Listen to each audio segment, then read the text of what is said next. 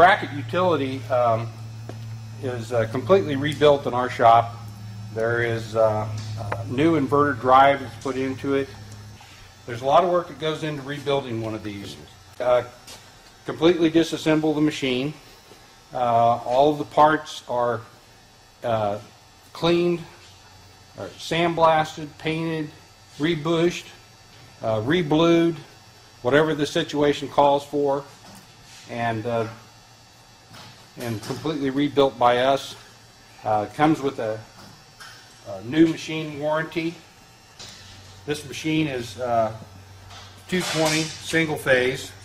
It has a, again, an inverter drive that's just a variable speed drive. The controls are basically uh, your main on-off switch, and uh, this is your speed control, just a power on light. Uh, it also consists of a micro switch that is a start-stop, and uh, that is when we put a, a book into the machine, uh, it automatically starts up and automatically stops when the micro switch has been cleared. Okay, with the power on uh, on the main control panel, uh, then you have an option of being in automatic or in manual. And uh, the reason for that is for when you're clearing the machine or when you're uh, first starting up the tape, you can turn it to manual and jog the machine while you get it started and then turn it over to automatic and the micro switch will do all the rest of the work. There's also an emergency stop uh, button at this end of the machine. Okay, those, those are the main controls and now uh, just a basic operation of the machine is that when you are setting up for different thicknesses of work, uh, there's only one adjustment, and that is this hand wheel that raises and lowers this head. At the same time that the head raises and lowers, it adjusts all the forming devices in the back automatically. Uh, very easy setup for that. Um, these are uh, spring-loaded rollers that are coming down against the product, and this shaft is, is going through the roller, and as soon as it lifts up off of here, if you can get a close-up of that, it shows you, you see that's putting tension, that little, and that is about what you want right there, and that is, then everything is set uh, for the thickness of the work going through the machine. The there is a, a knife trip that is right here, and every time the work passes over this star wheel, it tells the knife to trip, and it cuts in between the books. Um, you will get better than this. I'm not very good, but usually your tails will be short on this end. That's the lead edge, and then whatever your gap is will be the length of this this tail here. The knife uh, is uh, adjustable in that um, I can change, uh, when I change speed, it would cut maybe a longer tail than this short tail, and it would be, uh, all you do is loosen this and move the, the tape um, assembly to the right or left, depending on where, how long you want your tail to be on the lead edge. This machine will do uh, from one sheet of, of chipboard clear up to uh, one and a quarter inch thick work. And of course, the thicker your work, the, the wider your tape you would be using. And uh, the, the tape is adjusted as to how much tape goes on the front of the book versus the back of the book by raising and lowering this assembly. Okay?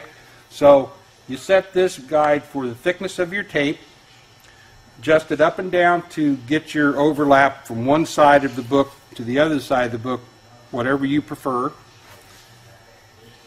And then you would adjust, uh, your tape just stands, sits on this spool, and uh, the height of the spool then would need to be relevant to the height of where you have this set, and then you just adjust that up and down. So uh, first you set your width of your tape, Then you center your tape how you want it over your book for the overlap front and back. And then you lower uh, the spool to accommodate the height of this uh, so the tape is running parallel. The Brackett utility uh, taping machine uh, is very versatile in the types of tapes that you can use. Uh, probably the most common tape is pressure sensitive tape. And this is the drive mechanism for the pressure sensitive tape. It is, uh, this rubber roller is being driven and assisting the tape coming off of the roll so we don't put tension on the product. And, uh, and this is uh, probably the most common uh, way uh, that people order. But if you prefer uh, the optional uh, glue pot is available, and you can do three different things with this glue pot. You can buy tape that has adhesive that is lick and stick, meaning that if you apply water to it, you've activated the adhesive. And so that's one type of tape, and you would just put water in this pot, and it would pick it up as it passed over. It'll pick it up and uh, activate the glue. The other option is to uh, take the uh, a plain tape, no glue on it at all, and apply a cold glue, oh, like an Elmer's glue, like a white glue. To do that, all you do is put the, the cold glue into this pot, and the wheel will pick up, and you can meter how much glue uh, goes onto the tape by moving these adjustments in, and apply cold glue to the tape, and then apply that to your product. Third option is that you can run a hot animal glue, which is a water soluble glue, but requires heat. This is a heater. You put, this is a double cooker pot. You put your liquid down here and heat it, and uh, then you put your adhesive into this upper pot, and uh, animal glue is in a solid form. Takes a little bit of heat to uh, activate it and make it liquid, and uh, it is a uh, another option of the type of uh, tape that you can run on this machine. Uh, on a pressure sensitive drive, the, the tape's coming off the spool around the rubber roller and into onto the product. When you're using a glue pot, um, you would just come around into this guide and then come around to your product. So as I pull, you can see that the tape is coming off the spool. It will be applied by the wheel and just would come around this guiding mechanism.